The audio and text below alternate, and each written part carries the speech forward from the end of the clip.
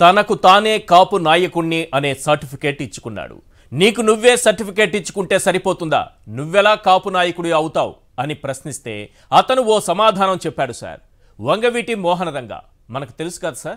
నేడు ఆయన వర్ధంతి కూడా. ఆ వంగవీటి రంగాకే నేను టీ ఇచ్చాను. కాబట్టి కాపులంతా నాకే ఓటు వేయాలి అంటాడు. ఈయన టీ ఇస్తే మనం ఓటేయాలా సార్? సర్లే కాపు కాసేవాడు మనోడైతే మంచిదే కదా అని కాపులంతా అనుకున్నారు. కానీ అతను చంద్రబాబుకు కాపు కాసేవాడని క్రమంగా అందరికీ అర్థమైంది. సార్ ఒక విషయం చెప్పనా? వంగవీటి రంగాను దారుణంగా చంపిందెవరో అతనికి తెలియదా తెలుసు సార్. కానీ తెలియనట్టు నటిస్తాడు. కాపు జాతి నాయకుడిగా అతని ముందున్నటువంటి ప్రధాన లక్ష్యం ఏంటో తెలుసా? కాపుల ఆత్మగౌరవాన్ని చంద్రబాబుకు తాకట్టు పెట్టడం. కాపులందరినీ చంద్రబాబు పల్లకీ మోసే కూలీలుగా తయారు చేయడం. మేమెందుకు బాబు పల్లకీ మోయాలి? అసలు నువ్వెందుకు బాబుతో పొత్తు పెట్టుకోవాలి? పెట్టుకుంటే పెట్టుకున్నావు. కనీసం ఓ అరవై స్థానాలుగా అడిగావా? సీఎం సీటు షేరింగ్ అడిగావా? అని ప్రశ్నిస్తే నన్నే ప్రశ్నిస్తారా? మీరందరూ వైసీపీ కోవట్లే అంటూ పార్టీ నుంచి మెడబట్టి బయటకు గెంటేశాడు సార్. రేపో మాపో పార్టీ ఖాళీ కావడం ఖాయంగా కనిపిస్తోంది సార్. అయినా సార్ నువ్వు సీఎంగా పనికిరావు. జస్ట్ బానిసత్వం చేస్తే చాలని లోకేష్ ఇంత క్లియర్గా చెప్పినా ఇంకా సైకిల్ని పట్టుకొని వేలాడుతాడు ఏంటి సార్? తానేదో కాపు జాతి ఉద్ధరణ కోసమే పుట్టినట్టు తానేదో కాపుల కోసమే టీడీపీతో పొత్తు పెట్టుకున్నట్టు తానేదో ప్యాకేజీ పుచ్చుకోనట్టు భలే నటిస్తాడు సార్. అయ్యా పవన్ కళ్యాణ్ గారు మీరు ముందు మీ యాక్టింగ్ ఆపి ప్రజలు అడుగుతున్న ఈ పది ప్రశ్నలకు సమాధానం చెప్పండి. క్వశ్చన్ నెంబర్ వన్ వంగవీటి రంగాను అర్ధరాత్రి అతి దారుణంగా చంపిందెవరో నీకు తెలుసు. అయినా ఎందుకు యాక్టింగ్ చేస్తున్నావు? క్వశ్చన్ నెంబర్ టూ అల్లర్ల సాకు చూపి కాపు యువతపై అక్రమ కేసులు పెట్టిందెవరో నీకు తెలుసు. అయినా ఎందుకు యాక్టింగ్ చేస్తున్నావు? క్వశ్చన్ నెంబర్ త్రీ కాపులను బీసీల్లో చేరుస్తానని ఓట్లేయించుకుని మోసం చేసిందెవరో నీకు తెలుసు. అయినా ఎందుకు యాక్టింగ్ చేస్తున్నావు? క్వశ్చన్ నెంబర్ ఫోర్ కాపు ఉద్యమనేత ముద్రగడపై కేసులు పెట్టి హింసించిందెవరో? నీకు తెలుసు. అయినా ఎందుకు యాక్టింగ్ చేస్తున్నావు? క్వశ్చన్ నెంబర్ ఫైవ్ ముద్రగడ కుటుంబ సభ్యులను నడివీధిలోకి జుట్టు పట్టి ఈడ్చుకొచ్చిందెవరో? నీకు తెలుసు. అయినా ఎందుకు యాక్టింగ్ చేస్తున్నావు? Question number six Tuni rail దహనం కేసులు అక్రమ కేసులు పెట్టి కాపుల్ని హింసించిందెవరో నీకు తెలుసు. అయినా ఎందుకు యాక్టింగ్ చేస్తున్నావు? క్వశ్చన్ నెంబర్ సెవెన్ కాపులను రాజకీయ అవసరాలకు వాడుకుని వెన్నుపోటు పొడిచిందెవరో నీకు తెలుసు. అయినా ఎందుకు యాక్టింగ్ చేస్తున్నావు? క్వశ్చన్ నెంబర్ ఎయిట్ నువ్వు సీఎం సీటుకు పనికిరావని లోకేష్ క్లియర్గా తేల్చేశాడని నీకు తెలుసు. అయినా ఎందుకు యాక్టింగ్ చేస్తున్నావు? క్వశ్చన్ నెంబర్ నైన్ బాబు కోసం సొంత పార్టీ నేతలపై కోవట్టు ముద్ర వేస్తే పార్టీ ఖాళీ అవుతుందని నీకు తెలుసు. అయినా ఎందుకు యాక్టింగ్ చేస్తున్నావు? Question number ten. వంద కోట్లు ఖర్చు పెట్టి మీ తల్లిగారిని దూషించింది చంద్రబాబే అని నీకు తెలుసు. అయినా ఎందుకు యాక్టింగ్ చేస్తున్నావు? ప్రజలు అడుగుతున్న ఈ పది ప్రశ్నలకు పవన్ కళ్యాణ్ సమాధానం చెప్పాలి. రైట్ ఈ అంశంపైనే మనం చర్చించబోతున్నాం. చర్చలో పాల్గొంటున్నారు విజయబాబు గారు అధికార భాషా సంఘం అధ్యక్షులు. ఇక కరణం ధర్మశ్రీ గారు వైఎస్ఆర్సీపీ ఎమ్మెల్యే మరి కాసేపట్లో మనతో పాటు జాయిన్ అవుతారు. రవీంద్రనాథ్ ఠాగూర్ గారు జనసేన మాజీ నాయకులు మనతో లైవ్లో జాయిన్ అయ్యారు. విజయబాబు గారు ఈ ఈ డిబేట్ స్టార్ట్ చేసే ముందు ఒక ముగ్గురి బైట్స్ నేను ఒకటి ప్లే చేస్తాను. అది విన్న తర్వాత దానిపైన మీ విశ్లేషణ తీసుకుంటాను సార్. ఒకసారి ఒక బైట్ ప్లే చేయండి. రంగా హంతకులు ఎవరు ముద్రగడను హింసించింది ఎవరు వీటిపై పవన్ రియాక్షన్ ఏంటి? ఆ రోజు కూడా ఉద్యమం చేస్తుంటే వంగవీటి రంగా గారిని కూడా తెల్లవారుజామున పట్టణ పెట్టుకుంది నీ పార్టీ కాదా అని చెప్పని కూడా చంద్రబాబుని మేము అడుగుతున్నాం. ముద్రగడ ఉద్యమం చేస్తాను పాదయాత్ర చేస్తానని చెప్పండి ఆయన ఎవరి కోసం నటిస్తున్నాడో అర్థం కావటం లేదు. ఎవరి కోసం జీవిస్తున్నాడో అర్థం కావటం లేదు. రంగా హంతకులు ఎవరో ఆయనకు తెలుసు. ముద్రగడను హింసించింది ఎవరో ఆయనకు తెలుసు. కాపు యువతపై అక్రమ కేసులు పెట్టిందెవరో ఆయనకు తెలుసు. వారి జీవితాలను నాశనం చేసింది ఎవరో ఆయనకు తెలుసు. అయినా పవన్ ఇంకా నటిస్తున్నాడా? మీట్లో ఉన్నట్టు సార్. మీ ఆడియో ఒక్కసారి చెక్ చేయండి ప్లీజ్. ఆడియో వినిపించట్లేదా? ఇప్పుడు ఇప్పుడు క్లియర్ సార్. ఇప్పుడు మాట్లాడండి ఓకేనా? ఓకే.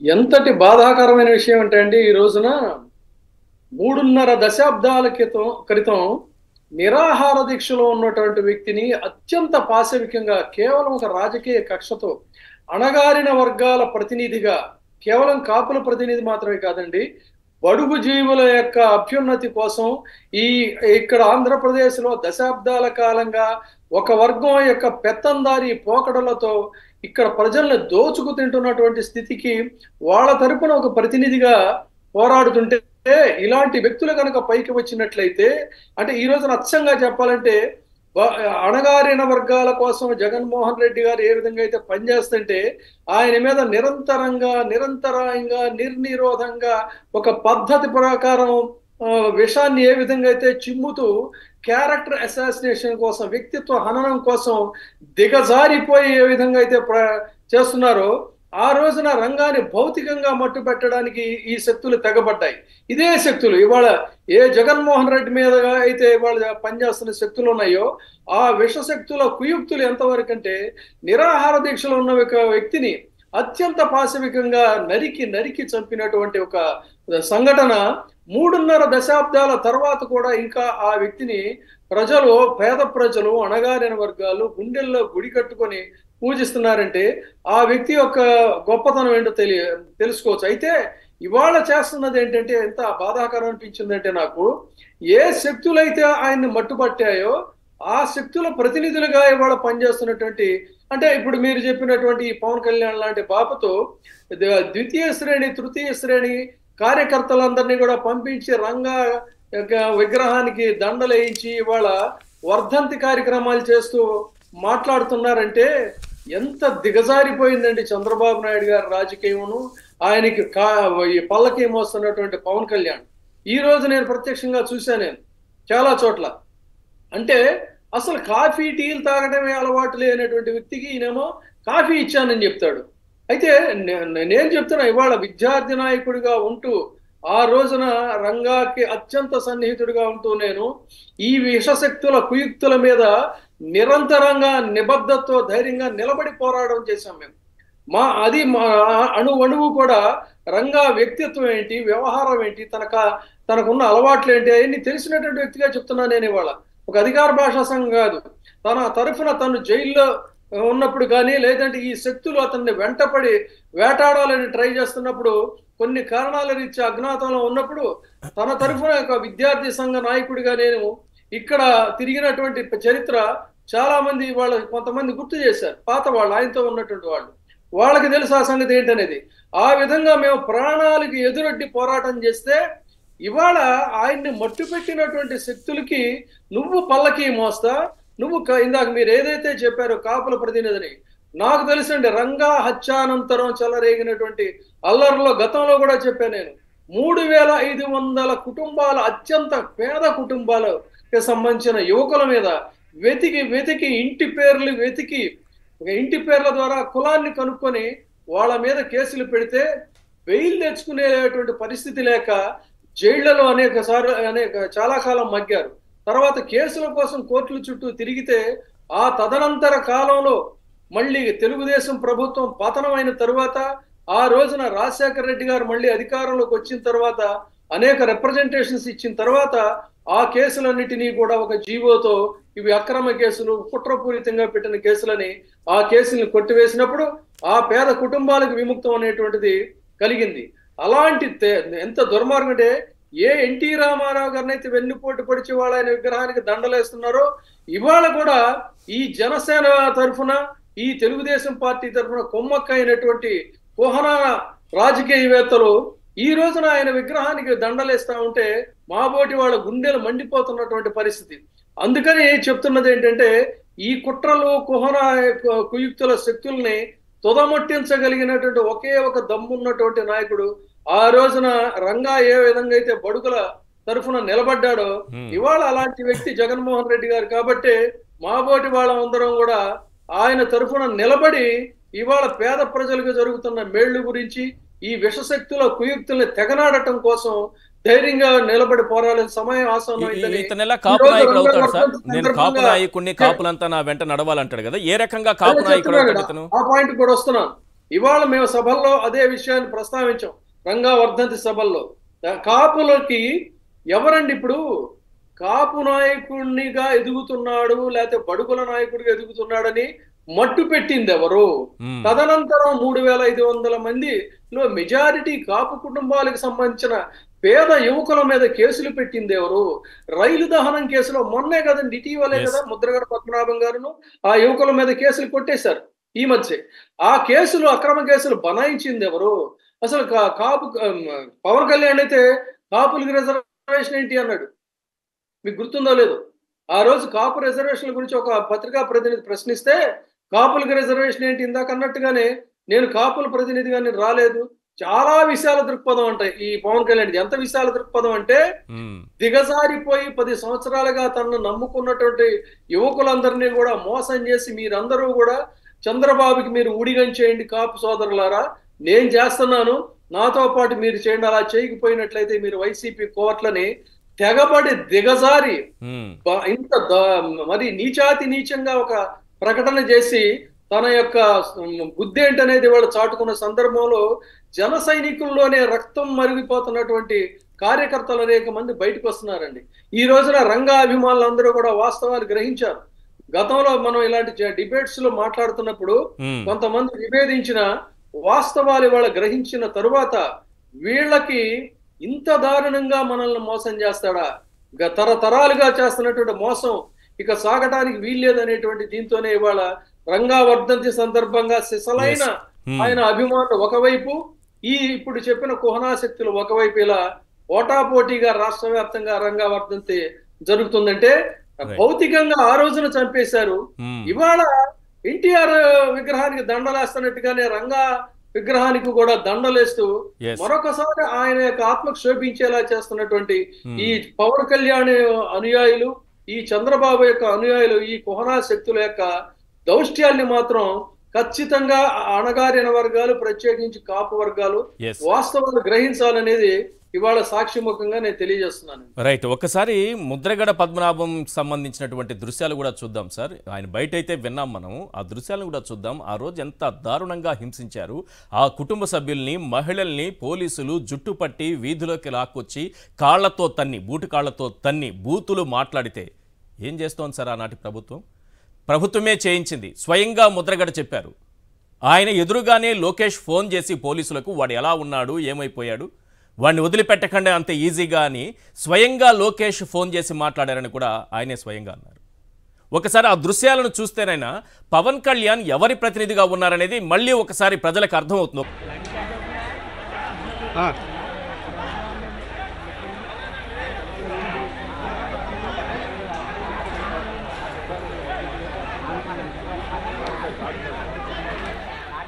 కాపు నాయకుల్ని అలాగే రిజర్వేషన్ల కోసం పట్టుబట్టినటువంటి ఆనాటి యువతని ఏ రకంగా పోలీసులతో కొట్టించారు చంద్రబాబు? ఆ దృశ్యాలను ఒకసారి చూడండి. ఆనాడు పవన్ కళ్యాణ్ ఎక్కడో ఆ, కర్ణాటకలోని బెంగళూరులో ఎక్కడో షూటింగ్లో ఉండి ఆయన ఆ తర్వాత వచ్చి ప్రెస్ మీట్ పెట్టి నేను సపోర్ట్ చేయను. నేను సపోర్ట్ చేయను. నేను నాది విశాలమైనటువంటి చాలా దృక్పథం. అంబేద్కర్ ఆశయాలకి ఇది విరుద్ధం. ఒక జాతి కోసమో లేకపోతే ఒక సామాజిక వర్గం కోసమో నేను మాట్లాడను. వాళ్ళని పోలీసులు కొట్టినా పర్లేదు వాళ్ళని హింసించినా పర్లేదు బూటుకాళ్ళతో తన్నినా పర్లేదు వాళ్ళు అలా ఉద్యమం చేస్తూ ఆఖరికి ప్రాణాలు తీసుకోవడానికి కూడా ప్రాణాలు అర్పించడానికి కూడా సిద్ధమైనా సరే నేను పట్టించుకోను. నాకు సంబంధం లేదు. నాది విశాలమైనటువంటి దృక్పథం. అంబేద్కర్ ఆశయాలకి అది విరుద్ధం ఒక సామాజిక వర్గానికి అనుకూలంగా మాట్లాడితే అని చెప్పి ఆఖరికి ఇప్పుడు ఏం చేస్తున్నారు? కాపు ప్రతినిధిని తనకు తానుగా ఎక్స్పోజ్ చేసుకుంటున్నాడు. తనే ప్రొజెక్ట్ చేసుకుంటున్నాడు. కాపులంతా నాతో రావాలి అంటాడు. కాపులంతా ఏకం కావాలి అంటాడు. అని ఆఖరికి వారందరినీ తీసుకెళ్ళి చంద్రబాబుకు తాకట్టు పెట్టాలంటాడు. ఆ దృశ్యాలు చూశాం కదా? పైగా పవన్ కళ్యాణ్కే కాదు ఈ రాష్ట్రంలో ప్రతి ఒక్కరికి తెలుసు. రంగా హంతకులెవరన్నది అందరికీ తెలుసు. ముద్రగడను హింసించింది ఎవరో కూడా అందరికీ తెలుసు. ఆనాడు కానీ ఈనాడు కానీ కాపు యువతపైన అక్రమ కేసులు పెట్టి జైల్లో తోయించింది ఎవరో తెలుసు. వారి జీవితాలను సర్వనాశనం చేయించింది ఎవరో బాగా తెలుసు. అయినా సరే పవన్ కళ్యాణ్ యాక్టింగ్ చేస్తున్నాడు ఏమీ తెలియనట్టు. ఎందుకు ఇంకా పవన్ కళ్యాణ్ చంద్రబాబు చుట్టూ తిరుగుతున్నాడు? ఎందుకు పార్టీని తీసుకెళ్ళి ఆయన కాళ్ళ దగ్గర పెట్టేశారు? లోకేష్ కాలితో తన్నినట్టు చెంప మీద కొట్టినట్టు మొట్టికాయ వేసినట్టు యూట్యూబ్ ఛానల్లో దొరికిన ఛానల్లో పచ్చ ఛానల్లో క్లియర్గా చెప్తున్నారు. సీఎం సీటు మాదే. డిప్యూటీ సీఎం కూడా మేము ఇవ్వము. ఆల్రెడీ నూట యాభై సీట్లకు మేము అభ్యర్థులను రెడీ చేసుకున్నాము. మిగిలిన ఇరవై ఐదు కూడా ఆలోచిస్తాము అటు ఇటు కావచ్చు అని. ఇంకా ఇంకా ఇంకా. కాపుల ఆత్మగౌరవాన్ని తీసుకెళ్ళి చంద్రబాబు దగ్గర తాకట్టు పెట్టాలి. కాపుల ఆత్మాభిమానాన్ని తీసుకెళ్ళి చంద్రబాబు కాళ్ళ దగ్గర తాకట్టు పెట్టాలి. ఎవరి కోసం యాక్టింగ్ చేస్తున్నవి ఇవన్నీ తెలియనట్టు పవన్ కళ్యాణ్ గారు మీరు? ఆ దృశ్యాలు చూస్తే అయినా మీ హృదయం కరగదా? సినిమాల్లో పెద్ద పెద్ద డైలాగులు చెప్తారే? పోరాటాల గురించి గట్టి గట్టిగా అరిచి అరిచి చెప్తారే? ఎక్కడ మీ ఊపిరాగిపోతుందో అన్నంత గట్టిగా అరుస్తారే మీరు? మరి ఆ దృశ్యాలు చూడట్లేదా? రంగా హంతకులు ఎవరో మీకు తెలియదా? ఆనాడు ఏం జరిగిందో మీకు తెలియదా? హరిరామ జోగయ్య గారు ఏం చెప్పారో మీరు వినలేదా? ఆయన పుస్తకంలో ఏం రాశారో మీరు చదవలేదా? డెబ్బై ఒకటో పేజీ డెబ్బై రెండో పేజీ డెబ్బై మూడో పేజీలో ఏముందో ఏ రోజు చదవలేదా మీరు? ఎస్ ఒక్కసారి మనం కరణం ధర్మశ్రీ గారితో మాట్లాడదాం. ధర్మశ్రీ గారు ఈరోజు రంగా వర్ధంతి. ఈరోజు ఈ రంగాకి టీ ఇచ్చానని చెప్పుకుంటారు ఈయన. పైగా అది కూడా అబద్ధం. రెండు ఉంటాయి ఇందులో. మళ్ళీ టైం ఉందా లేదో నేను వీలైతే ఆ బయట కూడా ప్లే చేస్తాను. అసలు రంగా ఎవరో నాకు తెలియదు నేను ఎప్పుడు చూడలేదని ఒకసారి అంటాడు. రెండోసారి నేనే స్వయంగా టీ ఇచ్చాను అంటాడు. అసలు విషయానికి వస్తే విజయబాబు గారు చెప్పింది తర్వాతే నాకు తెలిసింది. అసలు రంగా గారు టీనే తాగరని. టీ కాఫీలో ఆయనకు అలవాట్లేదు.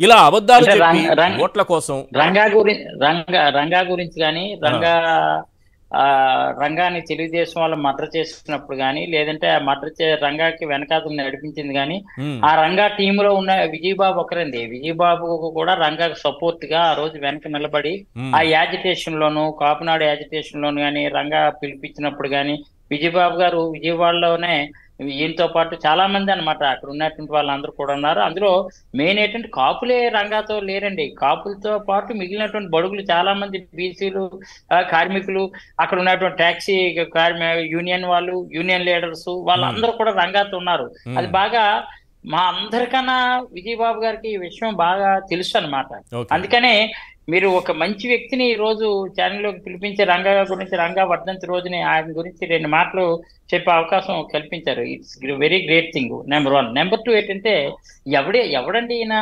ఈయన ఎవడు? ఈ కాపు నాయకుడు నేనే కాపు నాయకుడిని ఈయనకి ఈయనే ఎలా సర్టిఫికేట్ ఇచ్చుకుంటాడు పవన్ కళ్యాణ్? కాపులకు నువ్వు చేసింది ఏంటి? కాపులకి ఏ రోజైనా కాపులకి అన్యాయం జరిగినప్పుడు కానీ కాపుల కోసం పోరాటం చేసినప్పుడు కానీ కాపుల్ని బీసీలో చేర్చాలని యాజిటేషన్ చేసినప్పుడైనా ఒక్క ఈవెంట్లో ఒక్క ఈవెంట్లో ఎప్పుడైనా నువ్వు సంఘీభావం కానీ ఇన్వాల్వ్మెంట్ కానీ నీకు ఉందా? నువ్వు మాట్లాడితే కాపు కాపు అంటే ఇప్పుడు ఏ రోజు కాపు కోసం ఒక్క స్పందించావు. ఏ రోజైనా సరే నువ్వు అసలు కాపులకు స్థితిగతులు కానీ కాపుల జీవనశైలి కానీ కాపుల పరిస్థితులు కానీ నువ్వు ఎక్కడ చూ- ఎక్కడ చూసావు? కళ్ళుతోటైనా చూసావా? ఈ రోజు ఏంటంటే అనకూడదు కానీ ఇంకా చిరంజీవి గారు బ్లడ్ బ్యాంక్ పెట్టి కాపులకు ఒక ఔన్నత్యాన్ని తీసుకొచ్చి ఒక సేవా కార్యక్రమాలు చేయగలిగాడు ఇంకా చిరంజీవి ఈయన నువ్వెక్కడ చేసావు ఆ, అదే కాదు సార్ ఆ రోజు ముద్రగడ పద్మనాభం గారిని నిర్బంధించినప్పుడు. నిర్బంధించినప్పుడు కూడా దాసరి నారాయణరావు. చిరంజీవి వీళ్ళంతా ఇన్ని నిర్బంధాలు ఉన్నా సరే ఆయన కలవడానికి వెళ్ళారు. నేను ఉన్నాను. మ్మ్. నిర్బంధించినాడు రాజమండ్రిలో రాజమండ్రి అక్కడ ఉన్నటువంటిది ఎయిర్పోర్ట్లో మమ్మల్ని అందరూ నిర్బంధించడం నేనే కాదు ఆ రోజు ఉన్నటువంటి రఘువీరారెడ్డి గాని ఆ రోజు ఉన్నటువంటి దాసనారాయణ గాని ఆ రోజు ఉన్నటువంటి చిరంజీవి గాని ఆ రోజు ఉన్న బొత్స సత్యనారాయణ గాని మమ్మల్ని అందరూ నిర్బంధించారు. అక్కడి నుంచి వెళ్ళకున్నటువంటి పరిస్థితులు కూడా తెలుగుదేశం నిలబెట్టి అక్కడ మమ్మల్ని అరెస్ట్ చేసింది అక్కడ. అక్కడి నుంచి ఇక్కడేమో ముద్రగానేమో హౌస్ అరెస్ట్ చేసింది. ఏ ముద్రగాడ సంఘీభావం తెలపడానికి వచ్చాం. ఆ రోజు ఏంటంటే రీల్కి వచ్చిన వాళ్ళు మమ్మల్ని అందరూ కూడా తొక్కి పెట్టారు. ఆ రోజు నేను నేను ఒక వన్ ఆఫ్ ది విట్నెస్ అనమాట వెన్ ద టైం ఈ రోజు నేను ఏం చెప్తున్నాను? ఈ ఇతగాడు స్పందన కాదు కదా ఏమాత్రం కూడా సంఘీభావం చెప్పినట్టు కానీ అయ్యో ముద్రగాడ జరుగుతున్నటువంటి ముద్రగాడ చాలా యాజిటేషన్ చేసి ఇలా చేసి రిజర్వేషన్ కోసం పోరాటం చేస్తుంటే వాళ్ళ కుటుంబాన్ని రోడ్డు మీద ఈడ్చి తీసుకెళ్ళిపోతుంటే ఏ రోజు ఒక్క మాట సపోర్ట్ కానీ కనీసం ఆయన తాలూకా ఆయన మనసులో ఉన్నటువంటి మాట ఒక రిపోర్టర్ రూపంగా కానీ ఆ రోజు పవన్ కళ్యాణ్ స్పందించలేదే. నువ్వేంటంటే ఈ రోజు అమాంతంగా ఒకరి పలకిని మొయ్యడం కోసం ఒకరిని పెళ్ళి కొడుకుని చేయడం కోసం ఒకరి పలకిని ఒక పెళ్ళి కొడుకుని మొయ్యడం కోసం నువ్వు ఇక్కడికి వచ్చి తెలుగుదేశాన్ని మద్దతు పలుకుతున్నావు అంటే ఇంతకన్నా దారుణం ఉందా? Number one. నెంబర్ టూ ఏ రోజైనా కాపులకు కాపుల గురించి నువ్వు కాపు నాయకుడు నువ్వెవడో సర్టిఫికేట్ చేసుకోవడానికి? మేము అంగీకరించాలి కదా. నిజంగా కాపులు ఔన్నత్యం కాపాడు నువ్వు సినిమా స్టార్ అవ్వచ్చు. సినిమాలో యాక్టర్వే. సినిమాలో ఉన్నటువంటి మంచి యాక్టర్గా మేము కూడా అంగీకరిస్తాం. కానీ రాజకీయాల్లో యాక్టింగ్ చేస్తామంటే మాత్రం యాక్టింగ్ పనిచేయదు ఇక్కడ. యాక్టర్ పరంగా ఏదైనా ఉంటే యాక్టర్ పరంగా మా మా కోసం పోరాటం చేస్తే అదే అదే ఆయనకు ఉపయోగపడింది కదా. సినిమాల్లో చేసే యాక్టింగ్ ఇక్కడ చేస్తున్నారు. రంగా హంతకులు ఎవరో నాకు తెలియదు అన్నట్టుగా యాక్టింగ్ చేస్తున్నాడు. ఆనాడు కాపు యువత పైన కేసులు జైల్లో వేసి వాళ్ళ? జీవితాలను నాశనం చేసింది ఎవరో నాకు తెలియదు అన్నట్టుగా ఒక్క మాట చెప్తాను. ఒక్క మాట చెప్తాను యాక్టింగ్ ఉపయోగపడుతోంది. రంగాని రంగాని ఎవరు మర్డర్ చేశారో ఇది అందరు అందరికీ తెలుసు. ఏ సామాజిక వర్గం ఏ కమ్మ సామాజిక వర్గం ఆ రోజు రంగాన్ని మటర్ చేసిందో తెలుసు. ఆ రోజు ఉన్నటువంటి హోంమంత్రి ఏ సామాజిక వరకు తెలుసు. ఆ రోజు ఉన్నటువంటి ముఖ్యమంత్రి ఏ సామాజిక వరకు తెలుసు. ఆ రోజు ఉన్నటువంటి ఆ కమ్మ సామాజిక వర్గానికి సంబంధించిన చంద్రబాబు నాయుడు వెనకాల నుంచి ఎలా చక్రం తిప్పాడో తెలుసు. ఆ రోజు ఉన్నటువంటి పోలీస్ కమిషనర్ ఎవరు? విజయవాడ పోలీస్ కమిషనర్ ఏ సామాజిక వరకు తెలుసు. ఆ రోజు ఉన్నటువంటి పోలీసు బలగాలు ఏ విధంగా వచ్చి మర్డర్ చేశాయో క్లియర్గా తెలుసు. కమ్మ సామాజిక ఈ రోజు మర్డర్ చేసింది అని క్లియర్గా అందరికీ తెలుసు. అలాంటి కమ్మ సమాజ వర్గంలో మళ్ళీ అదే నాయకుడిని నువ్వు పెళ్ళి కొడుకుని చేద్దామని ప్రయత్నం చేస్తే నిన్నెవడు నమ్ముతాడు? నిన్నెవడు నమ్ముతాడు? అమాంతంగా చంద్రబాబు నాయుడు పెళ్ళి కొడుకుని చేసేయాలని చూస్తాను నువ్వు పెళ్ళి కొడుకు అవుతావు మేము. మేము ముందు వచ్చిన కొత్తలో. నువ్వు పెళ్ళి కొడుకు కాదు కదా పలకిలు మోయడానికి పనికొస్తున్నావు. మళ్ళీ మమ్మల్ని పలకిలు మొయ్యమంటావా. ఎక్కడైనా ఉందా? మళ్ళీ నీకు నువ్వే సర్టిఫికేట్ ఇచ్చుకుంటావు కాపునే ఎక్కడ ఒక దగ్గర ఏదో టీ ఇచ్చానంటావు. ఏ టీలు ఇచ్చేస్తే నువ్వు టీ ఇచ్చావా? నిజంగా టీ ఇచ్చావా? ఇది అన్నానికి టీ ఇచ్చేస్తే టీ ఇచ్చేస్తే నువ్వు కాపునే ఎక్కడ అయిపోతావా? ఎక్కడ ఎక్కడ ఏ రోజున ఎవరికైనా టీ ఇచ్చావా నువ్వు? లేదంటే ఇక్కడ ఉన్నటువంటిదిగా నేను ప్రజాక్షేత్రంలో ప్రజాస్వామ్యబద్ధంగా ఒక ఒక పార్టీ పెట్టాను. నేను డెఫినెట్గా ప్రభుత్వం తాలుగా ఏ లొసుకులున్నా ముసుకులున్నా నేను బయట చేస్తున్నాను మీరు రండి అని నువ్వు ఎప్పుడైనా నువ్వు ఏకాంతంగా నువ్వు ఇండివిజువల్గా వ్యక్తి ఇండివిజువల్గా ఒంటరిగా నువ్వు నేను చేసి నేను ఎట్టి పరిస్థితుల్లో ఏదో రోజుని ఒక మంచి ముఖ్యమంత్రిని అవుతానని ఆ రోజు అనగలిగావా? ఆ రోజు ఎందుకు? ఈ రోజు నువ్వు అను చూద్దాం? నేనే ముఖ్యమంత్రిని అని అని చూద్దాం. నువ్వే నేనే. ముఖ్యమంత్రిని అనుకుంటే కొంతమంది జన సైనికులు సరే నీ ముందుకు వస్తారు. అను Yes. నేనే ముఖ్యమంత్రిని అవుతానని చెప్పు. చెప్పలేవు. ఏ ఈ రోజు ఎవరిని కాపులందరూ నా వెనకాల ఉన్నా నాకు కులం లేదని చెప్పు ఇప్పుడు కాపులందరూ నా వెనకాల ఉన్నా నాతో రండి అని అంటున్నావు. రండి అనేసి ఏంటంటే నీలా మమ్మల్ని మేము పలకీలు మోస్తామా? పలకీలు మొయ్యడానికి లేవు. పలకీలు మొయ్యాలని అగత్యం లేదు. కాపులందరూ ఒక యూనిటీగా ఉండి ఎట్టి పరిస్థితులు కూడా ఈ రోజు క్లియర్గా నిజంగా నాయకుడు అంటే జగన్మోహన్ రెడ్డి గారు ఆ రోజు చెప్పాడు. ఏ రోజు రాజ్యాంగబద్ధంగా కేంద్ర ప్రభుత్వం ఆమోదించాలి ఆ కేంద్ర ప్రభుత్వం పార్లమెంట్లో బిల్లు పాస్ అవ్వాలి వితౌట్ పార్లమెంట్ బిల్లు పాసింగ్ నేను ఏమాత్రం కూడా నేను చేయలేని పరిస్థితి అని ధైర్యంగా చెప్పాడు చెప్పి ఈ రోజు కూడా కమిట్ అయ్యి ఉండి కాపుల కోసం ఎట్టి పరిస్థితుల్లో కాపులు అందరూ కూడా కాపు కార్పొరేషన్ ఏర్పాటు చేయడంలో కానీ లేదంటే తూర్పు కాపులు ఎవరైతే ఉన్నారో తూర్పు కాపులు సెపరేట్ కార్పొరేషన్ ఏర్పాటు. చేయడం కానీ Hmm. అదే అదే సామాజిక వర్గంలో కాపులు కానీ గాజుల కాపు కానీ బరిచి కాపు కానీ లేదు అంటే ఇక్కడ ఉన్న కట్టకచ్చు కాపు కానీ లేదంటే కాపు కానీ తూర్పు కాపు కానీ ఒంటరి కానీ తెలగా కానీ ఇలాంటి కాపు సామాజిక వర్గాన్ని అంతటి కూడా న్యాయం చేయాలా సాయం చేయాలని సంకల్పంతో ముందుకెళ్తున్నటువంటి ముఖ్యమంత్రి గారు నిజంగా ఆయన ఆయన నిజంగా సర్టిఫికెట్లో కాపు ఉందో లేదో తెలియదు కానీ కాపు అనే పదం జనరల్గా రాజశేఖర రెడ్డికి ఉండేది. జగన్మోహన్. రెడ్డి గారికి ఉందో లేదో తెలియదు కానీ మనసులో అయితే మాత్రం ఎట్టి బస్సులో నిజమైన కాపు నాయకుడిగా జగన్మోహన్ రెడ్డి గారు ఉన్నారు. అది లీడర్ అంటే. నువ్వేం. చేస్తున్నావు? నేను కాపు నాయకుడు నువ్వే నువ్వే సర్టిఫికెట్ ఇచ్చుకోవడం చంద్రబాబుతో వంగవీటి రంగాన్ని మర్డర్ చేసినటువంటి వాడితో నువ్వేం చేతులు కలపడం ఆ రంగానేమో మట్టించిన వాళ్ళని అలా ముద్రగాడు పద్మనాభాన్ని తొక్కించిన వాడిని నువ్వేమో మళ్ళీ ఏమో వెనకాతలు వచ్చి ఈ రోజు చంద్రబాబుని ఏమో ముందుకి ముందుకు తీసుకెళ్ళిపోదాం అని అనుకుని మమ్మల్ని అందరినీ తాకట్టు పెట్టేస్తావు. నువ్వెవడు పెట్టడానికి? రైట్ ఓకే ఒకసారి అప్పుడు చూద్దాం సార్ ఒకసారి? దాసరి ఏమన్నారు? ఆ రోజు దాసరి నారాయణరావు చిరంజీవి వీళ్ళంతా నీ యాక్టింగ్. నీ యాక్టింగ్ని ఎవరు కూడా ఈ రోజు నమ్మే పరిస్థితి లేదు. నువ్వు సినిమాల్లో నటుడు అవ్వచ్చు రాజకీయాల్లో నటిస్తా అంటే మాత్రం నీ నటన వ్యక్తిగతది కాదు కదా. ఈ ఘటనతో ఈ రోజు రంగాన్ని అడ్డం పెట్టుకునే రంగా రంగానే గురించి ఏదో దండలేసి నువ్వు నాయకుడు అయిపోదు అనుకుంటే అది తప్పు. ఎందుకంటే ఎక్కడ పెట్టాలో ఎక్కడ మట్టాలో క్లియర్గా చంద్రబాబుకి బాగా తెలుసు.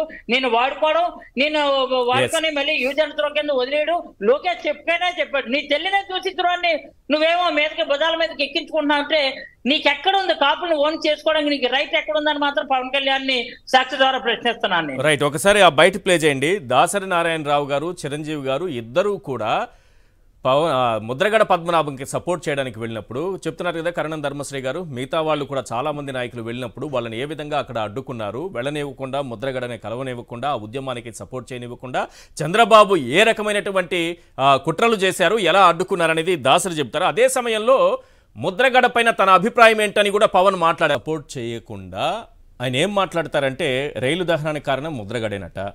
ఏంటది? రెచ్చగొట్టే వ్యాఖ్యానాలు చేయటం వల్ల ఇలాంటి ఫలితాలు వస్తాయట. సోషల్ అన్రెస్ట్ వస్తుందంట. శాంతి భద్రతలకు ఎవరై ఎవరైతే నాయకులు ఉన్నారో వాళ్ళే బాధ్యత వహించాలట.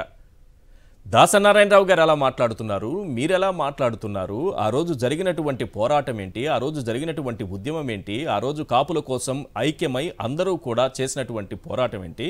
ఈయన బెంగళూరులో షూటింగ్లో నుండి వచ్చి ప్రెస్ మీట్ పెట్టి మాట్లాడినటువంటి మాటలు ఏంటి ఇది చాలా క్లియర్గా అర్థమవుతుంది ఎవరికైనా.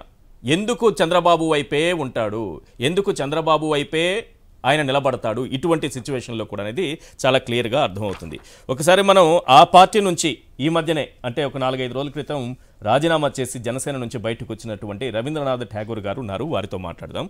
ఠాగూర్ గారు ఐవైఆర్ కృష్ణారావు గారు ఒక ట్విట్టర్లో ఒక పోస్ట్ పెట్టారు. ఆంధ్రప్రదేశ్ రాష్ట్రంలో రాజకీయంగా పవన్ కళ్యాణ్ గారి ప్రాధాన్యం తగ్గిందా?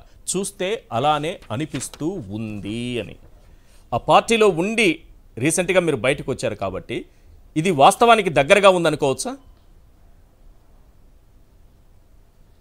ఇది వారు చెప్పింది కూడా కరెక్టేనండి. పవన్ కళ్యాణ్ అనేవాడు కేవలం. స్వార్థంతో వచ్చినవాడు. అంటే రాజకీయ నాయకులు చాలామంది ఉంటారు. నిస్వార్థంతో వచ్చేవాళ్ళు నాయకులు వేరు. వీడు కేవలం స్వార్థంతో వచ్చిన నాయకుడు. పవన్ కళ్యాణ్కి రాజకీయ పరిజ్ఞానం లేదు రాజకీయ ప్రభావం లేదు రాజకీయ ఆలోచన లేదు. కేవలం చంద్రబాబు నాయుడు కోసం వచ్చినట్టే కనిపిస్తుంది. ఎందుకంటే అవి కృష్ణారావు చెప్పినా ఎవరు చెప్పినా పవన్ కళ్యాణ్ యొక్క పార్టీ అనేది కూడా ప్రజల్లోకి వెళ్ళదు ప్రజలు కూడా నమ్మలేదు. పవన్ కళ్యాణ్ చంద్రబాబు నాయుడుతో కలిసి హలో? సార్ క్లియర్గా ఉంది. చెప్పండి సార్. పవన్ కళ్యాణ్ పవన్ కళ్యాణ్కి రాజకీయ పరిజ్ఞానం లేదంటే అతను స్వాతంత్రం వచ్చినవాడు రెండోది ఏదో విధంగా ప్యాకేజ్ మ్యాన్ అని సామాన్యుడు పల్లెటూరులో ఉన్న సామాన్యమైన వ్యక్తి కూడా పవన్ కళ్యాణ్ ప్యాకేజ్ మ్యాన్ కదండి అంటున్నారు. అంటే వారు కూడా వీడి యొక్క వ్యక్తిత్వం వీడి యొక్క ఆలోచనలు తెలిసిపోయాయి. సామాన్య ప్రజలు కూడా ఇవాళ తెలుసుకోగలిగారంటే పవన్ కళ్యాణ్ వాట్ అబౌట్ వేరే అబౌట్ అటు క్యా- క్యారెక్టర్ ఏంటి కాంటాక్ట్ ఏంటి అనే విషయాన్ని బాగా క్షుణ్ణంగా తెలుసుకున్నారు ప్రజలు. ఇవాళ రాష్ట్రంలో కాపులందరూ కూడా అతన్ని వ్యతిరేకిస్తున్నారు కూడా. అయితే ఒక విషయం మీకు చెప్పాలి. రంగా గారితో నేను చాలా సన్నిహితంగా ఉండేవాడిని. ఎందుకంటే గుడివాడ గురునాథరావు ఎలక్షన్లో రంగా గారు నేను కలిసి తిరిగాము. అతడు మనస్తత్వం ఎలాంటిదంటే సర్వమాన సౌభ్రతము సమైక్యత భావము సంఘీయ భావము అన్ని కులాలు అన్ని మతాలు అన్ని వర్గాలు సమతుల్యము సమభావం చూడగలిగిన వాడే. నిజమైన పరిరక్షకుడు అనే భావం ఉండేది. రంగా గారికి. అందుచేతే అతను ఒక కాపు కులమే కాదు మొత్తం యావత్ ఆంధ్రప్రదేశ్లో ఉన్న అన్ని కులాల వారు కూడా అతను మద్దతు పలికారు. అతని మంచితనానికి అతని ఆలోచనకి చాలా చాలా హ్యాపీగా ఉండేవారు ప్రజలందరూ కూడా. అటువంటి వాడు గురించి చంద్రబాబు నాయుడు గోరంట్ల బుచ్చి చౌదరి కోళ్ళి శివప్రసాద్ మరికొంతమంది చౌదరిస్ ఏం చేశారంటే ఇతను ఇలాగ ఎదిగితే కాపులందరూ ఎదుగుతారు. మరి ఇక్కడ కాపుల్ని కిందకి తొయ్యాలంటే ఏం చేయాలంటే ముందు వీడిని వేసేయాలి. అందులో చంద్రబాబు నాయుడు యొక్క ఆలోచనలు పరిపూర్ణంగా వంగవీటి మోహన్ రంగాన్ని చంపడానికి కారకులు చౌదరిస్ అని తెలుసు. అందులో చంద్రబాబు నాయుడు అని తెలుసు. కానీ పవన్ కళ్యాణ్ చంద్రబాబు నాయుడు పక్కన చేరుతున్నాడంటే ఇక్కడ దీనికి ప్రత్యేకించి ఎందుకు చేరుతున్నాడు అనే దానికి ఒక అర్థం లేదండి. ఎందుకంటే ప్రశ్నించారా. మీరు పార్టీలో ఉన్నారు కదా. చేరుతున్నాడని ఎప్పటి వరకు ఉన్నారు మీరు పార్టీలో? ఎప్పుడు జాయిన్ అయ్యారు? ఎప్పటి వరకు నేను ఎన్నోసార్లు సార్ నే నేను పవన్ కళ్యాణ్ రాకముందే. ఈ రాష్ట్రంలో కాపోడు అనేవాడు కూడా ముఖ్యమంత్రి అయితే బాగుంటుంది అని అనుకున్న తరంలో ఈడు వచ్చాడు పవన్ కళ్యాణ్. నేను అప్పుడే చెప్పాను పవన్ కళ్యాణ్ వచ్చాడు కాపు వ్యవస్థ పాడైపోద్దని. ఎందుకంటే ఇతడు కాపులకి ఇండైరెక్ట్గా వ్యతిరేకి కాపులు ప్రేమించేవాడు కాదు అభిమానించేవాడు కాదు. ఇతడు స్వార్థపరుడు తన కోసం తన ఎదుగుదల కోసం తన ఆర్థికంగా తెలపడం కోసం తప్ప ఇది కాపు ప్రజలకు మేలు చేద్దామన్న దృక్పథం కలిగిన వాడు కాదు. అనేది వాస్తవం నూటుకు నూరు రూపాయలు కరెక్ట్. మీరు ఎప్పుడు గుర్తించారు ఎలా గుర్తించారు? ఇప్పుడు కొంతమంది- మీరు ఎప్పుడు గుర్తించారు ఎలా గుర్తించారు నేను సారీ ఇది ఇది చాలా సార్లు నేను ప్రశ్న నేను చాలా మంది మన కాపు నాయకులకు చెప్పానమాట నాకు అతను ఎవరు చేకొండ హరిరామజాకి కొడుకు కూడా ఫోన్ చేస్తే. అక్కడి నుంచి ఫోన్ చేసి అన్న మీరు విశాఖపట్నం సిటీ కాపు సంఘం ప్రెసిడెంట్ కదా మరి మరి పవన్ కళ్యాణ్ వస్తున్నాడు మనందరూ కలిసి పనిచేయాలంటే ఏది ఏం చూసి చేయమంటారో అని అడిగాను నేను అతన్ని. కాబట్టి అతను కూడా ఉన్నాడు హరిరామజాకి కొడుకు కూడా ఉన్నాడు ఇప్పుడు ఉన్నాడు కదా. పవన్ కళ్యాణ్కి ఎందుకు చేయాలి? పవన్ కళ్యాణ్ ఏం మంచి పని చేస్తాడని? ఎవడో మన వంగవీట మంగ మోహన్ రంగ అనేవాడు మన యుగ పురుషుడు మన కాపు వ్యవస్థకి నాంది పురుషుడైన అతను చంపేశాడే. ఈయన చంద్రబాబు నాయుడు వీళ్ళు కలిసి చంపారే. వీళ్ళకి వత్తాస పలికిని వీళ్ళు వెనకలు తిరిగిన వాడికి పవన్ కళ్యాణ్కి మనం సాయం చేయడం అంటే సమాజంలో ప్రజలేమైనా ఒప్పుకుంటారయ్యా. ఇది అసందర్భమైన ఆలోచనలు ఈ తప్పుడు ఆలోచనలు. అయ్యా అర్రం జోగ్ గారు మీ నాన్నగారు నేను కలిసి దాస నాన్నరావు గారు అతను మా పల్లం రాజు గారు కలిసి సోనియా గాంధీ దగ్గర కూడా వెళ్ళాము. సోనియా గాంధీలు కాపులు బీసీలు చేర్చామనంటే ఆవిడకి కాపులు ఏంటో తెలియదు ఆవిడకి. ఆంధ్రప్రదేశ్లో కాపులు ఏమిటో తెలీదు. ఆవిడ తెలిసింది రెడ్లు కమ్మోళ్ళే. అయితే ఆ పరిపాలనలో మాకు బీసీలు చేర్చమనే ఆలోచనతో వెళితే ఈ యొక్క ఈ ఇతడు ఎవడు? చంద్రబాబు నాయుడు. మాకు బీసీలు చేర్చకుండా ఉండటానికి బీసీలోకి వెళ్ళకుండా ఉండటానికి అనేక రకమైన కుయుక్తుతో మమ్మ మాకు మాకు అన్యాయం చేసిన వ్యక్తిలో అంటే వీడొక ప్రథమ ప్రథముడు. ఇంతకంటే దుర్మార్గుడు ఉంటాడు ఐదు శాతం రిజర్వేషన్ సామాన్యుడు కాదు. తీర్మానం చేసి పంపించారు? చంద్రబాబు? ఇచ్చాడు మాకు లెటర్ ఇచ్చాడు. బీసీ థర్టీ ఫోర్ అని చెప్పి పెట్టి మాకు లెటర్ ఇచ్చాడు. ఇచ్చి నేను కేంద్రంలో అంటే కేంద్రంతో తప్పు చేసేసాడు. కేంద్రం వాళ్ళు కాదంటున్నారండి ఠాగూర్ గారు.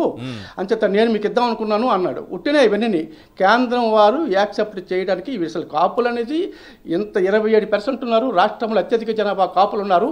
వాళ్ళకి అన్యాయం జరుగుతుందని అడిగాను అడిగే అటువంటి వాడు మా కాపుల్లో లేకపోతే లేకపోవచ్చు కానీ. వీడు అసలు మా కాపులకి ఏ విధముగా ఎదగడానికి అవకాశం లేకుండా సర్వనాశనం చేసాడు మాకు బద్ధ శత్రువు ఎవడంటే చంద్రబాబు నాయుడు. అందులో డోకా లేదు. బద్ధ శత్రువు సమాజంలో ఇంత చీటప్పరు కూడా మరి ఉండటం కూడా అతనికి మద్దతిస్తూ పవన్ కళ్యాణ్ తీసుకుంటున్నటువంటి నిర్ణయాలు. Point number one point number two అడుగుతున్నాం మిమ్మల్ని. ఎవరైనా సరే చంద్రబాబుతో పొత్తు విషయం మాట్లాడినా సీట్లు ఇన్ని కావాలని డిమాండ్ చేసినా ఈ పొత్తు ఎందుకు అన్నా చంద్రబాబును విమర్శించినా మిమ్మల్ని అందరినీ వైఎస్ఆర్సీపీ కోవర్తులని పిలుస్తా నేను. అలాగే చూస్తానని అన్నారు. ఏంటి పార్టీలో ఎవరు పవన్ కళ్యాణ్కి ఏ సలహాలు ఇవ్వద్దా ఏ సూచనలు ఇవ్వద్దా ఎటువంటి అభిప్రాయాలు చెప్పకూడదా? మరి రవీంద్రనాథ్ ఠాగూర్ని కూడా కోవర్ట్ గాని భావించాడండి ఆయన.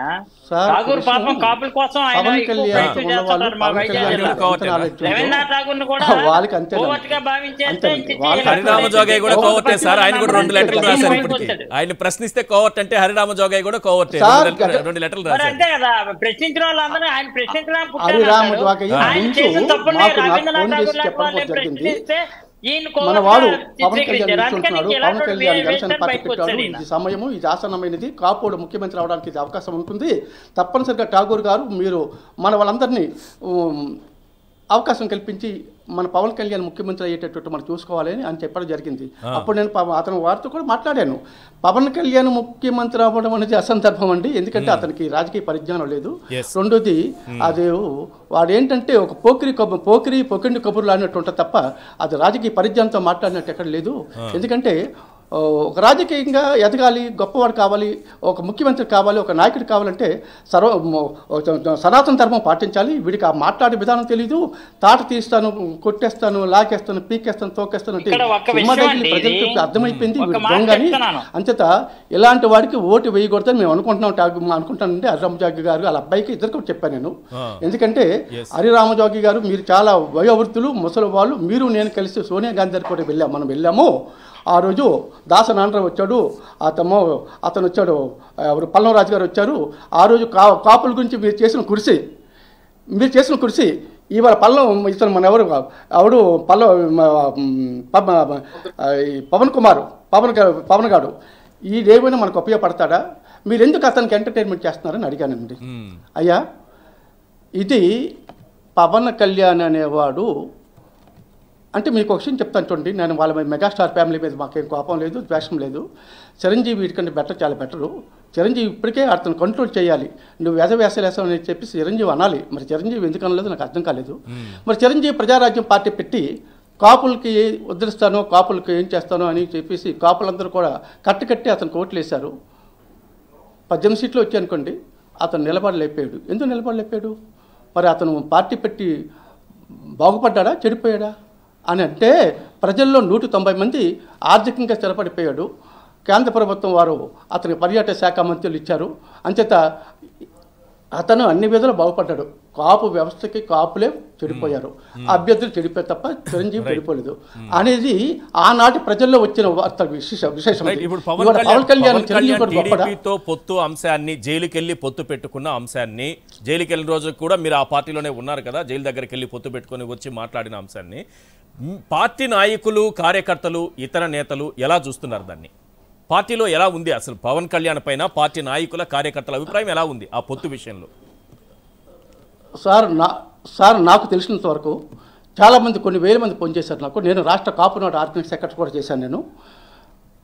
నాకు తెలిసే వరకు కాపులందరూ చాలామంది ఫోన్ చేసి ఇతడు కాపుల్ని ముద్రగడ పద్మనాభన్ ఇంట్లో పెట్టి హింసించి వాళ్ళ కుటుంబాన్ని సర్వనాశనం చేసి భయం భయప్రాంతులు చేసిన ఈ ఈ ఇలాంటి వెధవలాంటి చంద్రబాబు నాయుడికి మనం సాయం చేస్తామా?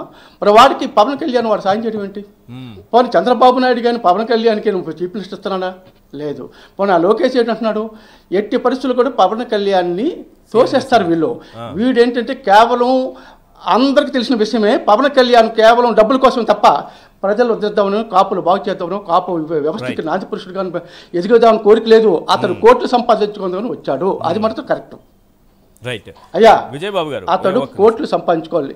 ఎవరు ఏమనుకుంటున్నా నాకేంటి ఎవరు ఏమనుకుంటున్నా నాకేంటి ఎవరు ఏమనుకుంటున్నా నాకేంటి అనే దృక్పథంతో ఈవేళ చంద్రబాబు నాయుడు సొంత మామగారిని రాజకీయ అపేక్ష ఆర్థిక అపేక్ష సమాజంలో విలువైన వ్యక్తికి ఎదగడానికి అవకాశం కల్పించినటువంటి చంద్రబాబు నాయుడికి ఆ ఎన్టీ రామారావు గారు మహానుభావుని అతనే తోసేసి కూర్చి ఎక్కిపోయాడు హరికృష్ణకి మీ నాన్న పోయి చీఫ్ మినిస్టర్ అన్నాడు. అని చెప్పి అతను మభ్యపరిచి అతను తాగేసి చచ్చిపోయినంత వరకు చేశాడు. అంచేత Right. మహానుభావుడు మర్ద ఇతను మంచి మద్రిష్ట చంద్రబాబు నాయుడు. చంపడంలో ఈడికంటే గొప్పవాడు మరొకడు ఎందుకంటే తడుగుడత పేకలు కోసేస్తుంటాడు. ఈ చంద్రబాబు నాయుడు రాష్ట్రానికి ముఖ్యమంత్రి అయితే రాష్ట్రం అధోగతికి వెళ్ళిపోతుంది. పవన్ కళ్యాణ్ లాంటి వాళ్ళు తెలుగు తక్కువ వాళ్ళు తెలుగు తక్కువ వాళ్ళు మూర్ఖులు. వీళ్ళు మూర్ఖులు అంటారు వీళ్ళు అంచేత చంద్రబాబు నాయుడు ఎలాంటి వాడు చెప్పంటారంటే ఇది లాస్ట్ అండ్ ఫైనల్. ప్రపంచంతో మునిగిపోవాలి. ప్రపంచంలో అందరూ పోవాలి. నేను నా కొడుకు నా భార్య నా మనవడే తేలిపోవాలి. ఈ దేశాన్ని వేలుకోవాలి అనే దృక్పథం కలిగి. ఇంత నీతి నీతి మాలిన వాడు నికృష్టుడు ఇంతకంటే చెడ్డవాడు ప్రపంచంలో. ఉండాలి. ఆ గుట్టల్లో సామ్రాజ్యంలో ఉన్న ఒక ఎల్లో తాత హ్యాపీగా ఉండాలి. ఇంకొక పచ్చ మీడియా హ్యాపీగా ఉండాలి. రెండు ఛానళ్ళు హ్యాపీగా ఉండాలి. తన హెరిటేజ్ వ్యాపారం హ్యాపీగా అంతే. మరి ఆయన ఒక్కరే కాదు? ఇవి కూడా కొంత. ప్రజాసేవలో ఇది ఒక భాగం. ఆయన చేసే ప్రజాసేవలో ఇది ఒక అంతే కదండి. రైట్ రైట్ విజయబాబు గారు సార్ నేను. రెండు అబ్జర్వేషన్స్ చెప్తున్నా. ఒక నిమిషం సార్. వస్తాను. ఒక నిమిషం. రెండు అబ్జర్వేషన్స్ చెప్తున్నాను సార్. ఈరోజు టీడీపీ సోషల్ మీడియాలో లోకేష్ ఏ రోజైతే సీఎం అవకాశం లేదు డిప్యూటీ సీఎం అవకాశం లేదు నూట యాభైకి పైగా సీట్లలో మేమే పోటీ చేస్తామన్నారో అప్పటి నుంచి జనసేనను తక్కువ చేస్తూ మాట్లాడటం వాళ్ళ సోషల్ మీడియా గ్రూపుల్లో చాలా బాగా కనిపిస్తోంది. ఒక ఒక ఒక తెలుగు దేశ భావజాలం అని ఒక గ్రూప్లో ఏం పెట్టారంటే జనసేనకు తెలుగుదేశం ఇరవై నాలుగు సీట్లే ఇస్తుంది అదే మా ప్రజాశాంతి పార్టీతో కలిస్తే మేము నలభై ఎనిమిది సీట్లు ఇచ్చి పవన్ కళ్యాణ్ సీఎంను కూడా చేస్తామని కేఏ పాల్ అన్న మాటల్ని పెట్టి ఏరా జఫా పిల్ల సైనిక్స్ పాల్ మామయ్య ఆఫర్ అదిరింది కదా మీరెక్కల కష్టంతో బాబును గెలిపించడం దేనికిలే కానీ పాపం ఈ పాలికి పాల్ మామయ్యని గెలిపించండి అని వెటకారంతో. మొత్తం ఆ గ్రూపు మొత్తం ఇలాంటి వెటకారపు మాటలు ఉన్నాయి సార్. రెండోది ఇంకోటి చెప్తున్నా. ఈరోజు ఇదే సోషల్ మీడియా వీళ్ళకి సంబంధించింది. పేరు చదవమన్నా చదవచ్చు కానీ సమ్ చౌదరి ఎందుకు పేర్లు వద్దులేని ఆపేస్తున్నా. బెజవాడలో రౌడీ మూకలను నాయకుడనే ఒక్క క్వాలిఫికేషన్ తప్ప ఇంకేముందిరా ఆ రౌడీకి చెప్పుకోవడానికి. మీరు మీ వెధవ ఎలివేషన్లు ఆపకపోతే ఈ శుభదినాన మేము కూడా మా పల్నాటి పులిని ఒక్కసారి స్మరించుకుంటాం. జోహార్ కోడెల. ఇది ఉద్దేశపూర్వకంగా రెచ్చగొట్టేలా చేస్తున్నటువంటి ప్రక్రియ. ఇది చంద్రబాబు టీడీపీ ఐటీడీపీ లోకేష్ వీళ్ళందరికీ తెలిసి జరుగుతున్న ప్రక్రియ. పవన్ కళ్యాణ్కి ఎందుకు తెలుసు సార్? తెలిసి కూడా ఆయన నటిస్తున్నాడా మళ్ళీ? మళ్ళీ అదే ప్రశ్న. ఎస్ అండి ఇందాక ధర్మశ్రీ గారు ఒక పాయింట్ చెప్పిన తర్వాత నాకు ఒక అంశం కూడా గుర్తుకొచ్చింది ఏంటంటే చాలా ఆసక్తికరమైన అంశం ఇది. రంగా గారి మర్డర్ జరిగిన తర్వాత ఇండియన్ ఎక్స్ప్రెస్ గ్రూప్ సంస్థలు అంటే ఇండియన్ ఎక్స్ప్రెస్ ఆంధ్రప్రభ ఇలాంటి పేపర్లన్నీనేమో మొత్తం అంటే ఒక అట్టడుగు నాయకుడిగా ఆయన బడుగుల నా- జీ- బడుగు జీవుల నాయకుడిగా ఎలా ఎదిగాడు వాళ్ళు ఎలా ఇదయ్యారు అనేది ఒక పాజిటివ్ స్టోరీస్ అన్ని కూడా ఆ హత్యను ఖండిస్తూ నిరాహార దీక్షలో ఉన్న వ్యక్తిని చంపడం అంటే బ్రిటిషర్స్ సైతం కూడా తెలిస్తే ఆశ్చర్యపోతారండి. బ్రిటిషర్స్ కూడా నిరాహార దీక్షలో ఉన్నటువంటి వాళ్ళని ఆ రోజున గౌరవించారు. అవును. కానీ నిరాహార దీక్షలో ఉన్నటువంటి వ్యక్తిని చంపడం ప్రపంచంలో బహుశా అరుదైనటువంటి అంశమేమో వాళ్ళందరూ పాజిటివ్ స్టోరీస్ రాస్తేనండి. ఇవాళ జగన్మోహన్ రెడ్డి గారి మీద ఏ విధంగా అయితే విషం చిమ్ముతున్నటువంటి ఆ కుల మీడియా ఉందో ఆ రోజున సేమ్ ఇప్పుడు మీరు ట్విట్టర్లో పెట్టినట్టుగానే ఆ, రోజున ఒక గోండా అని ఒక రౌడీల దీని కింద ఎదిగాడని కక్షలో కార్పణ్యాలని ఆ కక్షల తాలూకు ఇలా ఇలా వచ్చాయని చిలవల పొలవలు సృష్టించి చనిపోయిన వ్యక్తి మీద ఒక ముఠా నాయకుడు ఒక రౌడీ నాయకుడు అనేటువంటి ముద్ర వేయడానికి వాళ్ళు రాసిన స్టోరీలండి. అతి దారుణమైనటువంటి స్టోరీలు. ఆ రోజుల్లో బీబీసీలో కూడా రంగా హత్య గురించి ప్రసారం చేశారు. నలభై రోజుల పాటుగా ఈ వార్తలన్నీ కంటిన్యూస్గా వస్తూ ఉంటే వీళ్ళ మీడియా మాత్రం దాన్ని యొక్క తీవ్రతను తగ్గించడానికి ఒక నెగిటివిటీని క్రియేట్ చేయడానికి ఇలాంటి దుర్మార్గపూరితమైనటువంటి కథలో కథనాలు రాయటం అనేది. ఇక్కడ గమనించదగినటువంటి అంశం. Mhm. తర్వాత ఇందాక దాసరి గారి గురించి కూడా ఒక అంశం గుర్తుకొచ్చింది. దాసరి గారు స్వయంగా నాకు చెప్పారు ఏంటంటే ఆయన అక్కడ బయలుదేరుతున్నాడు అనగానే ఇంటెలిజెన్స్ రిపోర్ట్ వచ్చి చిరంజీవి గారు బయలుదేరినప్పుడేమో ఆయన ఎయిర్పోర్ట్ దగ్గర ఆపారు. రాకుండా. ఈయన్ని కూడా రా ఆపాలని ట్రై చేస్తే ఆయనకి తెలిసి ఆయన చెప్పారు. స్వయంగా కారులో హైదరాబాద్ నుంచి ఆయన బయలుదేరాడండి. కారులో బయలుదేరితే నందిగామ దగ్గర మళ్ళీ ఆపడానికి చెక్ పోస్ట్ సెంటర్స్ పెట్టి ట్రై చేస్తుంటే నందిగామ నుంచి ఆయన బైపాస్ రోడ్లో నేను తిరిగి ఆ మట్టి రోడ్లో నుంచి వెళ్ళాను విజయబాబు అని చెప్పి చెప్పారు ఆయన. అంటే ఎందుకండి వీళ్ళ మీద ఇంత కక్ష ఇంత కసి ఇతనికి? ఒకసారి ఆలోచించమనండి వీళ్ళు గుడ్డిగా సపోర్ట్ చేసేటువంటి వీళ్ళనందరినీ కూడా. అలా అడుగు అడుగున ఏ తర్వాత ఉదయం మీద ఎంత విషయం చింపారంటే ఉదయం మూతపడేదాకా కూడా వామపక్ష భావజాలం విప్లవ భావజాలం ఉన్నటువంటి అనేక మంది జర్నలిస్టులకు లైఫ్ ఇచ్చింది ఆ పత్రిక. ఆ పత్రిక మూత పడేదాకా కూడా అదే పనిగా పనిగట్టుకొని చేసినటువంటి ఇది.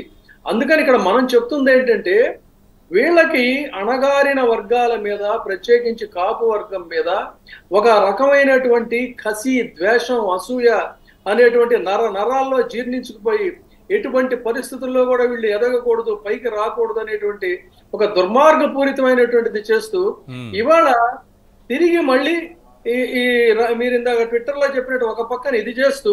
ఇంకో పక్కన చేస్తామంటే ఇందాక ఏం మాట్లాడతాడంటే మీరు వేసిన బయటలో ఆ రెచ్చగొట్టకూడదు రెచ్చగొట్టకూడదు. కంట్రోల్ తప్పి మాట్లాడకూడదు అంటే కంట్రోల్ తప్పి మా అమ్మని తిట్టారా మీరు ఇది చేశారా అది చేశారా అని లోకేష్ని ఊగిపోతా కాగిపోతా మాట్లాడి ఈ రోజున లోకేష్ కూడా నువ్వు తల వంచి ఈల్డ్ అయిపోయి ఆయన అంత గొప్ప నాయకుడు ఎంత గొప్ప నాయకుడు నేను చేయలేని పని ఆయన చేశాడని.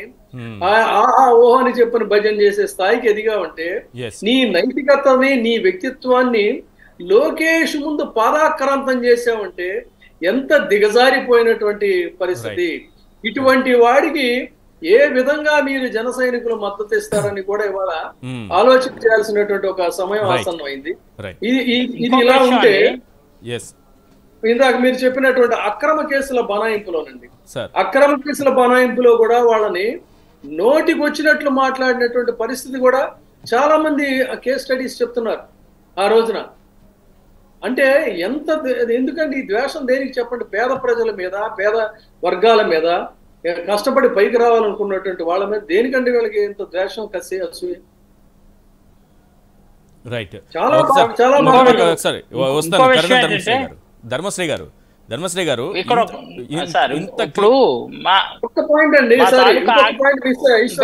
చెప్పండి, point, చెప్పండి. ఒక నిమిషం ధర్మశ్రీ గారు వస్తాను. మీరు మీ పాయింట్ చెప్పండి సార్.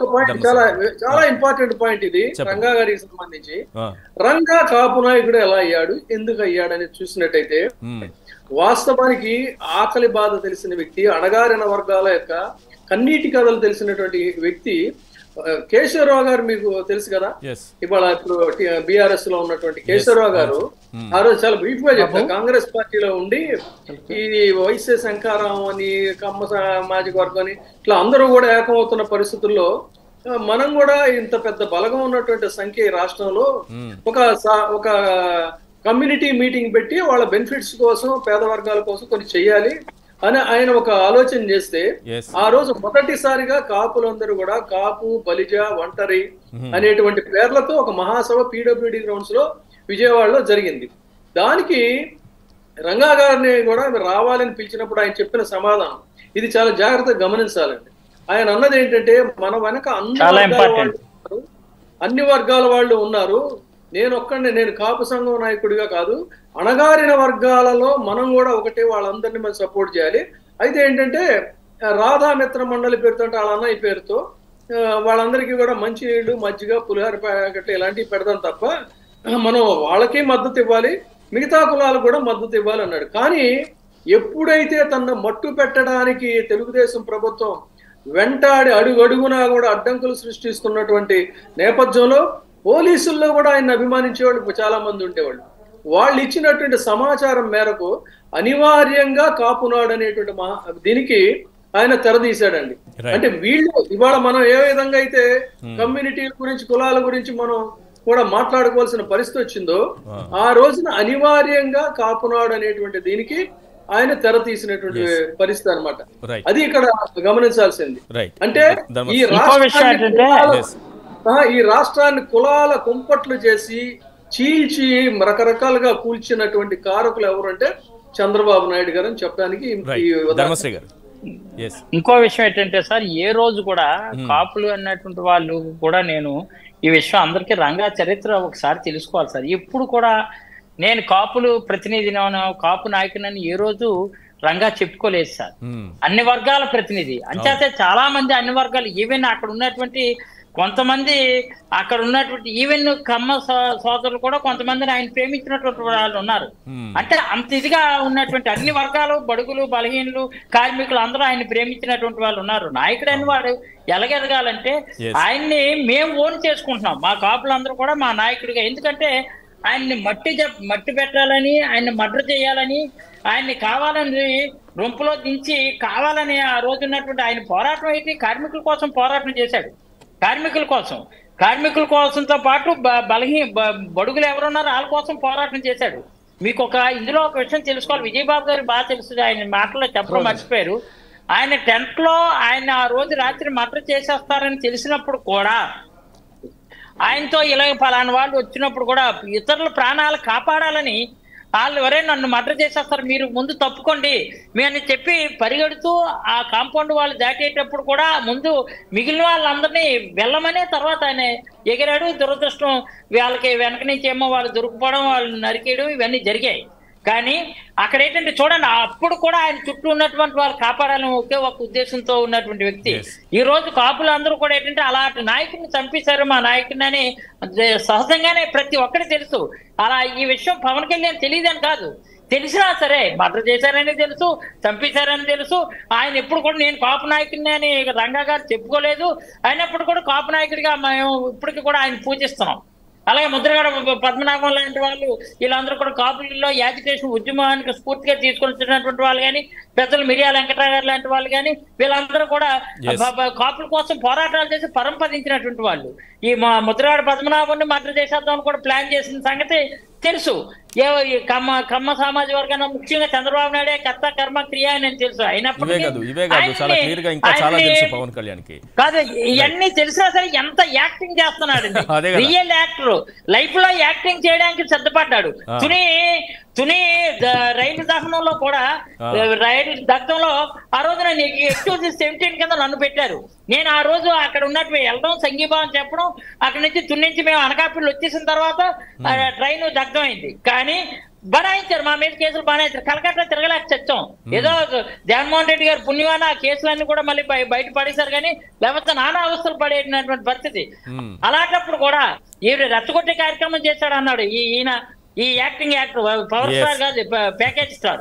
ఈ ప్యాకేజ్ స్టార్ ఏంటంటే ఆ రోజు కూడా కనీసం కాపులకి సంఘీభావం చెప్పకపోతే ఎంత మండుతుందండి ఆలోచించండి రైట్ అదే కదా ఆయనకి అన్ని తెలుసు సార్ ఆయనకి అన్ని తెలుసు. పదిహేను సీట్లకు. మించి ఇవ్వరని తెలుసు సీఎం పదవి షేరింగ్ అనేది ఉండదు అని ఆయనకు తెలుసు ఒకవేళ సపోజ్ నాకు- సపోజ్ వాళ్ళు ఊహిస్తున్నట్టుగా ఈ కూటమి అధికారంలోకి వస్తే చంద్రబాబే సీఎం అని లోకేష్ క్లియర్గా చెప్పేశారు. ఆ విషయం కూడా ఆయనకి తెలుసు. అయినా సరే తన పార్టీ నాయకుల్ని కార్యకర్తల్ని అభిమానుల్ని మోసం చేస్తున్నాడు తన నటనతో. సీఎం సీఎం సీఎం అని అరుస్తారు పాపం అభిమానులు పిచ్చోళ్ళు పాపం వాళ్ళు. ఆయన ఎక్కడ కనిపిస్తే అదే అరుస్తారు. అలాంటిది ఏమీ లేదు. అని ఇంకొక- క్లియర్గా లోకేష్ చెప్పిన తర్వాత ఈయన యాక్టింగ్ అనేది ఎలా ఉంది ఇప్పటికైనా జన సైనిక జన సైనికుల తమ్ముడు ఇప్పటికైనా నమ్మాలి సార్. ఆయన సీఎం కాడు అని తెలుసు సీఎం అడగలేదని తెలుసు ప్యాకేజ్ ఒప్పందం అయిపోయాడని తెలుసు. మొన్న తెలంగాణలో ఎలాగైతే అక్కడ కాపులు అందరూ కూడా నిలబడిపోయిన తర్వాత ఆ బర్లక్క కన్నా హీనంగా పోయినటువంటి పరిస్థితి తెలుసు. నా పదవి ఇంతే నా పరిస్థితి లేదని తెలుసు.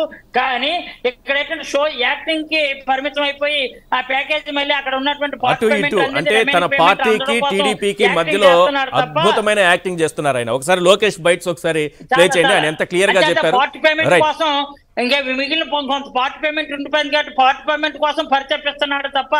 పార్ట్ పేమెంట్ కోసం ప్రయత్నిస్తున్నాడు తప్ప ఈ ఈ యాక్టింగ్ అయితే మాత్రం కాపు సోదరులు అందరికీ చేస్తారం అయిపోయింది సార్. తెలిసిపోయింది కాబట్టి జన సైనికులందరూ కూడా ఒక ఠాకూర్ లాంటి వాళ్ళందరూ కూడా యూటర్న్ తీసుకొని మళ్ళీ వెనక్కి వచ్చేస్తున్నారు ఎందుకంటే ఆయన వ్యక్తిత్వం ఆయన మనస్తత్వం ఆయన ఆయనకి ఎంత Right. తెలిసిపోయింది అసలు లోకేష్ అనే వ్యక్తి ఇంత క్లియర్గా ఇండికేషన్ ఇచ్చిన తరువాత ఏం చెప్పుకుంటారు పవన్ కళ్యాణ్ అటు ఇటు అంటూ టీడీపీకి జనసేనకు మధ్యలో ఒక యాక్టింగ్ చేస్తున్నట్టుగా కనిపిస్తోంది.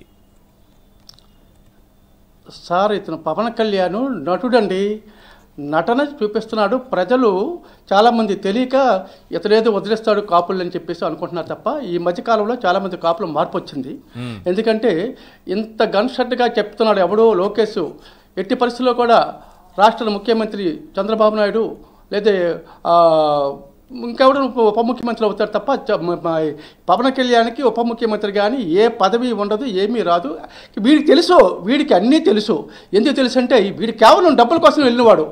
I don't want any political leadership నాకు అక్కర్లేదు. నాకు ప్యాకేజ్ ఇచ్చేయండి అనే దృక్పథం కలిగిన వాడు పవన్ కళ్యాణ్. ఇది కేవలం ఎవరిని అడిగినా? ఒక విషయం చెప్తాను సార్. మీలాంటి వాళ్ళు బయటకు వచ్చే వాళ్ళు ఇంకా చాలా మంది ఉన్నారా?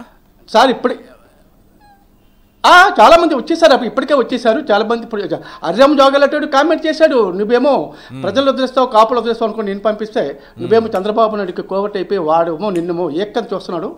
మా కాపులందరికి పరువు తీసేస్తాను అని చెప్పి చెప్పడం జరిగింది. ఇంకో విషయం సార్ ఇది మీకు క్లుప్తంగా చెప్తున్నాను. ఇది జగన్మోహన్ రెడ్డి మీద వాళ్ళ నాన్నగారి మీద కక్ష కావేశం చంద్రబాబు నాయుడు కాపుల మీదకి ఎంత కోపం ఉందో వైఎస్ఆర్ పార్టీ యొక్క రాజశేఖర రెడ్డి గారికి మీద అంతే కోపం ఉంది. ఎందుకు అని చెప్తే ఒక విషయం చెప్తాను వినండి ఇది క్లుప్తంగా చెప్తున్నాను. రాజశేఖర రెడ్డి గారు కాంగ్రెస్ పార్టీ పతనం అయిపోతున్న టైంలో చేయూతనిచ్చి కాంగ్రెస్ పార్టీని బయటకు లేపాడు ఈ రాష్ట్రంలో. లేపి ప్రజల మనలు పొందిన గొప్ప ముఖ్యమంత్రిగా పేరు తెచ్చుకున్నాడు రాజశేఖర రెడ్డి. ఆరోగ్యశ్రీ కార్డు అని రేషన్ కార్డు అని తెల్ల రేషన్ కార్డు అని అలాగే రీఎంప్రెస్మెంట్ అని అలాగే ఈబీసీ ఎకనామికల్ బ్యాక్వర్డ్ కమ్యూనిటీ అని ఇలా పెట్టి ప్రజల మనలు పొందినటువంటి గొప్ప ముఖ్యమంత్రి రాజశేఖర రెడ్డి. ఆ టైంలో సోనియా గాంధీ గారు ఏం చెప్పారంటే వాళ్ళు కాంగ్రెస్ పార్టీ అయి అయ్య- అధిష్టానము అంటే ఢిల్లీలో ఉన్న వాళ్ళు ఏం చెప్పారు అంటే ప్రతి ఆరు మాసాలకు ఒక ముఖ్యమంత్రి మార్చడం అలవాటు వాళ్ళకి. అలాగే ఇతను కూడా మార్చిపోయారు. కానీ ఇతడు మిమ్మల్ని చూసి నాకు ఓట్లేదు నా ప్రజలు నన్ను చూసి ఓట్లేశారు నేను ముఖ్యమంత్రి అవడం కాదు మీరు కారణం కాదు అంచేత మీరు చెప్పినట్టు ఆరు మాసాలకు దిగుపడడం ఉండదు అని చెప్పి సమాధానం చెప్పడంతో వాళ్ళకి కోపం వచ్చి అలాంటప్పుడు ఈ దూర్తబక్కము లాంటి చంద్రబాబు లాంటి ఓత తీసుకొని రాజశేఖర రెడ్డి గారు మళ్ళీ రాకూడదు అనే సంబంధం సందర్భంలో అతను అనుకోకుండా హఠాత్మరణం జరిగిన తర్వాత జగన్మోహన్ రెడ్డి అంతకంటే గొప్పవాడు అంతకంటే. బలమైన వ్యక్తి. ఈడు వస్తే మరి ప్రమాదం అని ఇతను ఇరికించి ఏ తప్పు చేయకుండా ఏ ఏం సంబంధం వీళ్ళందరూ మీద అభిమాన అంటే రాష్ట్రం మీద ప్రజల మీద రాష్ట్ర సంక్షేమం మీద ఇట్లాంటి అంశాల మీద రాజకీయ అంశాల మీద కంటే కూడా ఓన్లీ జగన్ అంటే ద్వేషం. అందుకే ఈ మధ్య కాలంలో ఇది బాగా పబ్లిక్లోకి వెళ్ళిపోయింది. ఇతనికి. ద్వేషం తప్ప ఏమీ లేదు. ఒక్క ద్వేషంతోనే ఇతను వారాహి ఎక్కి రాష్ట్రం. అర్థమైపోయింది. అందుకని ఈ. మధ్య కాలంలో వరుసగా. ఏ సభకి వెళ్ళినా. నాకు పెద్ద ద్వేషం లేదు. నాకు ద్వేషం లేదని చెప్పుకోవాల్సి వస్తుంది. నేను మంచోండి నేను మంచోండి అని ఒక దొంగ చెప్పుకున్నట్టుగా ఈయన చెప్పుకుంటూ పోతున్నాడు ఇప్పుడు. చూద్దాం ఏం జరుగుతుందో. దొంగ తనకు తన సర్టిఫికేట్ ఇస్తే ఏమవుతుంది నేను చాలా మంచోండి నేను దొంగతనం చేయను. నేను చాలా మంచోండి నేను దొంగని కాదు అని చెప్తే ఏం లాభం?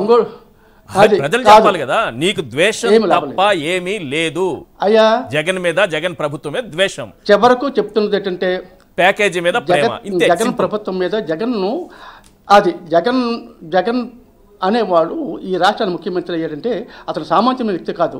అతని తండ్రి యొక్క వారసత్వం పుచ్చుకొని అతను రెండు అడుగులు ఎత్తి అతను ఆరు అడుగులు వేసుకొని ప్రజలు ప్రజా సంక్షేమ పథకాలు ప్ర- ప్రవేశపెట్టిన ఘనత ఒక జగన్మోహన్ రెడ్డి కానీ మరొకరికి ఎవరికి ఉండదండి. ఎందుకంటే నేను ఎన్నో నాకు వయసు ఎనభై సంవత్సరాలు. ఎనభై సంవత్సరాలు. ఎంతమంది ముఖ్యమంత్రులు చూశాను. ఇంత గొప్ప ముఖ్యమంత్రి మరొకడు ఉండడు. మరొకడు ఉండడు మరొకడు ఉండడు మరొకడు రాడు. ఇతనే రావాలి ఇతనే వస్తాడు. ప్రజలు రమ్మని రమ్మని కోరుకుంటున్నారు. జగనన్న కావాలి జగనన్న రావాలి జగనన్న కావాలి జగనన్న రావాలి పవన్ కళ్యాణ్ కూడా వస్తుందేమో. రైట్ థ్యాంక్ యూ అండి. థ్యాంక్ యూ ట్యాగూర్ గారు అలాగే కరణం ధర్మశ్రీ గారు విజయబాబు గారు థ్యాంక్ యూ అండి. ఇది వాళ్ళ చర్చా కార్యక్రమం.